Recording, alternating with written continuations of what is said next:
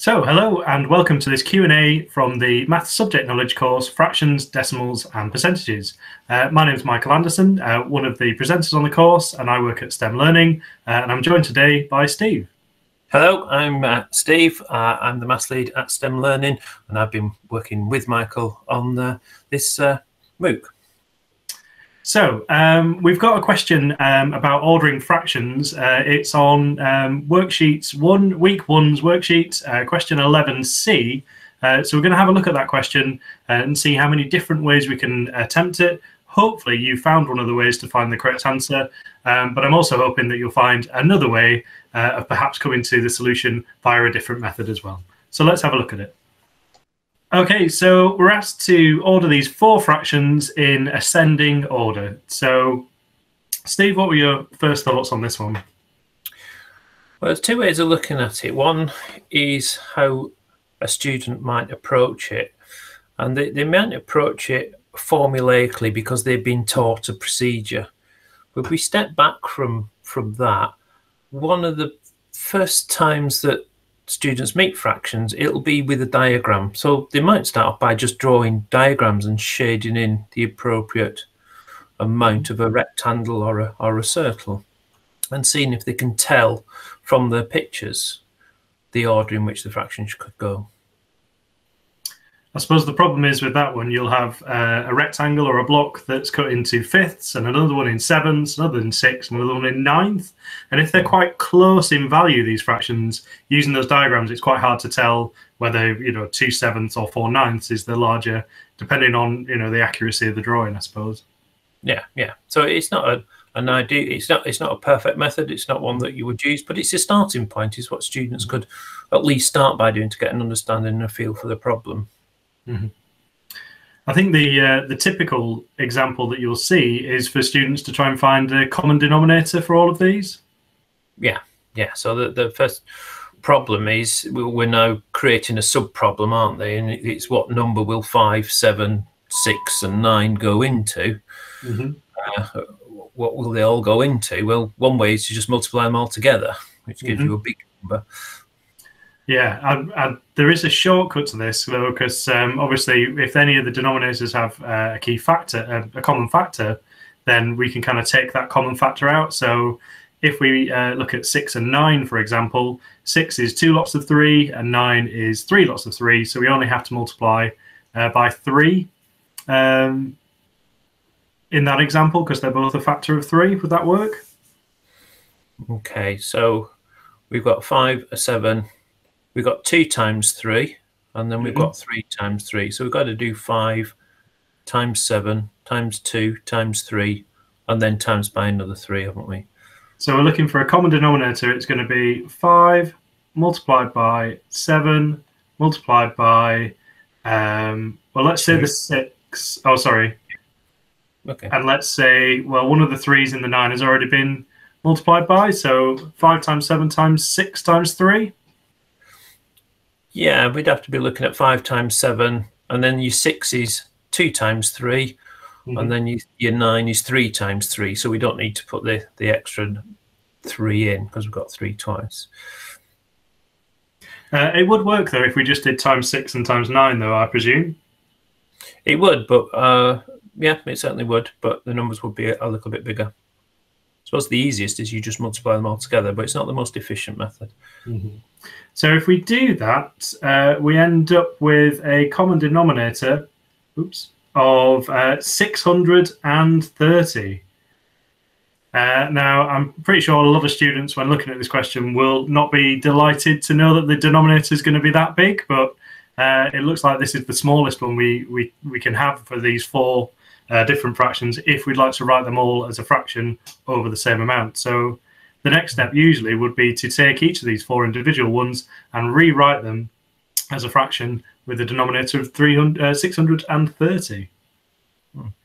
Yeah, so it's a case of making four big fractions, each with the same denominator. Mm -hmm. uh, one of the reasons why students are often taught to just find the same denominator is because that is how we add fractions. We've got to have fractions with the same denominator. how we subtract fractions. So we've got to have the same denominator. But actually, we don't need to make the denominators the same. Looking at the numerators, we could actually make the numerators the same. So we could create equivalent fractions that all have the same numerator, and that would allow us to compare the fractions if that's all we mm-hmm. wanted to do. So would we do that again by multiplying 3 times 2 times 5 times 4? Yeah, we could do 3 times 2 times 5 times 4, or we can think of the 4 as 2 times 2. So mm -hmm. we've already got a 2 multiplied in there, so it'll be 3 times 2 times 5, and then times 2 at the end, because we've already multiplied by 2. We've got a factor in there, just as we did. 3 to the 6 times 5 is 30, times by another 2, 60. So we'd be looking at 60 as our common numerator rather than 630 as a common denominator. So one way is to make them all out uh, something out of 360. Uh, yeah. Another way would be, well, in fact, we could do a common numerator, um, which you said was 60. So 60 over something. Yeah. Now, obviously for some students, uh, they're going to have to just go, you know, have to go through in finer detail. Uh, the largest value over 360 is going to give you the largest value uh, of fraction. Whereas if you've got a common uh, numerator, then actually the smallest denominator is going to be the larger fraction. Yeah, students might have to think about this in terms of uh, which is the biggest two fifths or two sevenths. And again, looking at that using a diagram, it's mm -hmm once you see a diagram, it's quite easy to see that two fifths is bigger than two sevenths, or yeah. uh, two fifths is bigger than than two ninths, or, or something like that. Uh, so this idea is it's a bit counterintuitive. That I, uh, I actually feel looking at the numbers though, Steve, that's probably an easier way of doing it if we're limiting ourselves to not having a calculator present because it's relatively uh, it's a lot more simple to multiply, say, the three over 5 by 20, both the top and the bottom, to get a fra equivalent fraction, as opposed to figuring out how many 5s go into 630 and multiplying both of the top and the bottom by that value. So that seems to be a nicer way of, um, of doing it kind of mentally, or at least using written methods uh, without a calculator. If you have got a calculator, then of course you can turn each of them into a decimal and then compare the decimals. Yeah, so two fifths, uh, three fifths will be 0.6, and, and mm-hmm. two sevenths will be something quite nasty, 0.28 something, something, something. Uh, uh, but if you've got a calculator, it, has it, got you some uh, rounding. Uh, you can round up, you can compare.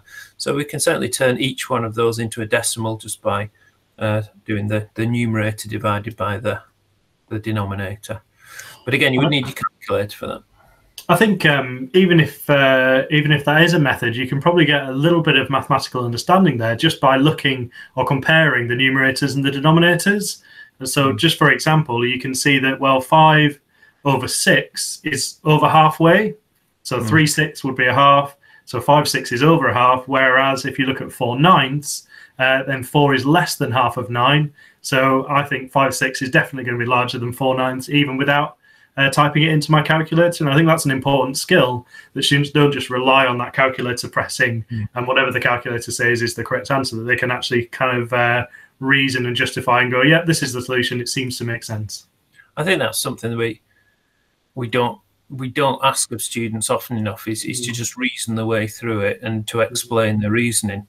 Uh, we very often want a method like just like we, we've just gone through you know you can make that same that same you can make them into decimals uh, but i think going back to where we started you know sometimes just having a think and trying to trying to work your way through it yeah. one of my nicest way the, the ways I, I, like to look at comparing uh, fractions is to actually link it with gradients of graphs which seems a little bit you know out there a little bit, but it works really mm-hmm. nicely. So if you just draw a set of axes, a simple set of axes. Draw a horizontal axis. And then uh, a vertical. So you just want the um, the one quadrant, Steve, positive, or would this work yeah. with negatives as well? Yeah. It, uh, we just need it for the positive quadrant for this one because we've only got positive numbers. Uh, I think once you get into negatives, you'd uh, it'd be, be good investigation to have a look at. Mm. Would it still work for negatives? Okay, so I've got my axes. Okay, so on the horizontal, we put the denominator. Oops. Uh, so this is going to be my denominator, which I'll just put as a D. And, and then the numerator will be on, be on the. Uh, okay, numerator on the vertical. So we think of three fifths. We, we if we can put some markings along, we'll have to go up to nine on the denominator, won't we? So one, two, three, four, five, six, seven, eight, nine, and ten for look. One, two, three, four, five. Okay, so drawing three fifths then, it's going to be five along the denominator and One, two, three, the numerator. And if we just put a cross there. So that is my uh, three fifths. So two sevenths. So we roughly plot two sevenths. So one, two, three, four, five, six, seven, and then one, two upwards is going yep. to be somewhere around there for my two over seven. And we got six along the denominator and five up the numerator. So five, so six, one, two, three, four, five, six, one, two, three, four, five, all the way up here is five, six. Now, I presume, Steve, you'd like students to be a little bit more accurate than uh, than what I'm doing on here. Would you recommend graph paper and uh, pencil? Yeah, yeah. I mean, if you're fairly accurate, it'll work. and unless, uh, yeah, it would be best if, if you actually plotted it properly. Uh, but you can even use uh, we even use uh, a graph plotter and plot them on the graph plotter. Okay, four ninths is our final one. Okay, so we'll go all the way across to nine, up to four, and we have four over nine there. So so if we join each of those points to the origin, we've got we'll get four lines and the fraction will actually represent the gradient of each of those lines. So the line with the greatest gradient will be the fraction that is the largest. So we can put them into order by looking at the gradients of each of the lines. So if I was to compare, if I just use this ruler, Steve, Hmm. Five six seems to be uh, the greatest value of fraction because that's the one that my ruler is coming to first when it goes through the origin. You just draw that line in. Mm-hmm. So the biggest fraction is five sixths. Mm-hmm. then we got four ninths. Then uh, then three fifths, and then four ninths, and then two sevenths. Just looking at the steepnesses of, of the lines. It's a different way of thinking about it. Yeah, that's really nice because I suppose the thing that I mentioned earlier about uh, comparing whether they're greater or larger than a half, we could put that line in uh, where all the, the, the, coordinate points would be um, two along and one up, or four along and two up, or whatever kind of uh, relationship you had, or equivalent fractions to a, a, half. So three over six, six along, three up, and that would give us a dotted line, uh, which I presume would have a gradient which would be uh, steeper than two sevenths and four ninths, but it would be more shallow than these two here, so it kind of come across somewhere along there. Yeah, yeah, it's a good link between fractions and uh, and graphs and gradients. Uh, one that's rarely made, I think. Oh, really nice. Uh, which probably brings us on to a, a, course I'd recommend next, Steve, which would be uh, our, our, our other uh, subject knowledge course, which is all about graphs, uh, functions, and equations. I think what we've seen today is, is how maths links together because we started off by looking at uh, highest common factors and lowest common multiples, and that's something we cover in the understanding number course. Mm-hmm. But and of course we've got equivalent fractions, which is all to do with scaling up and scaling down, which we cover in the proportional reasoning course. Mm, so, although they're all defined uh, distinct courses, uh, the actual maths that we're covering uh, links in a lot of different ways. So you can see this as a recurring theme in in each of the subject knowledge courses that are currently on FutureLearn. Yeah, and we, we show how uh, what seemingly different aspects of maths actually are, are deeply connected.